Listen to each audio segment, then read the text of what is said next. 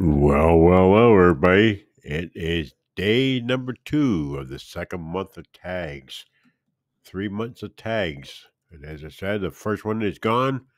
Now we're doing the second month. Five questions, five questions. I shall answer. Question number one If today was the last day of your life, would you want to do what you are about to do today? No, I would not.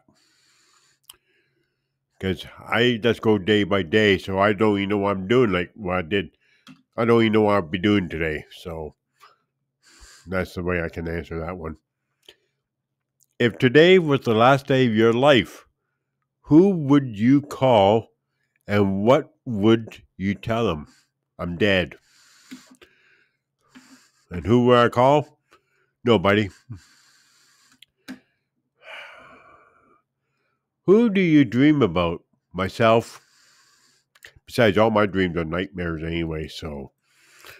I don't really dream about anything, really. Or I can't, if I do, I can't remember exactly what I'm dreaming about. um, do you have trouble seeing clearly in your mind?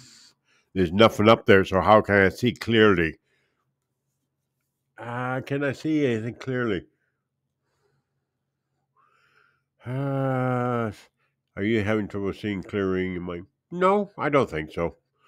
Like, my humor is something else. It's sarcastic, so that's why I say these things. And but can I see seeing clearly? I think I can. And what are you looking forward to? What am I looking forward to? Nothing. Nothing at all. As I said, I take day by day. That's all I do, and that's it. So what else can I do? Anyway, those are my answers. To day number two. Stay tuned tomorrow for day number three. Take care.